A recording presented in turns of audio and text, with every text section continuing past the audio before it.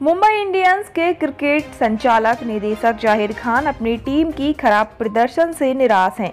क्योंकि पाँच बार की चैंपियन एमआई आईपीएल 2022 में लगातार आठ मैच हार चुकी है और वह पॉइंट्स टेबल में अंतिम स्थान पर है। हालाँकि उन्होंने टीम के हर खिलाड़ी पर अपना विश्वास जताया है। रोहित शर्मा की अगुवाई वाली टीम रविवार को वानखेड़े स्टेडियम में लखनऊ सुपर जॉइंट से भिड़ी, जिसमें उसे हार का सामना करना पड़ा। भारत के पूर्व तेज गेंदबाज ने कहा है कि तालिका में दसवें स्थान पर होने से टीम के लिए कई सीख होंगी, क्योंकि यह अब ऊपर बढ़ने की कोशिश करेगी।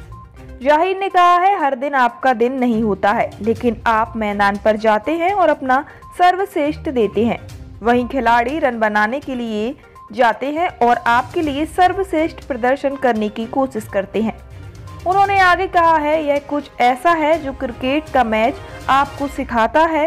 टीम का खेल गतिशील है, इसलिए आपको प्रत्येक खिलाड़ी में विश्वास रखना होगा। और जब मैं इस टीम को देखता हूँ तो मुझे हर खिलाड़ी पर विश्वास है कि वह मैदान पर जाने और उनमें जीतने की क्षमता है।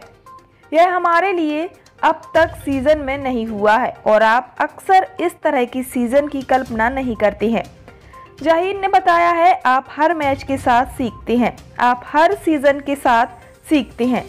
यह सीज़न हमारे लिए एक सीख रहा है, लेकिन कई बार चीज़ें वास्तव में कठिन हो जाती हैं।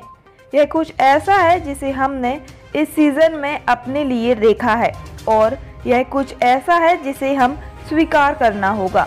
ज़ाहिर ने स्पष्ट रूप से कहा है कि ऐसा नहीं है कि अच्छे प्रदर्शन ना करने वाले खिलाड़ियों पर से विश्वास खो दिया जाए, क्योंकि मुझे उन पर पूरा विश्वास है।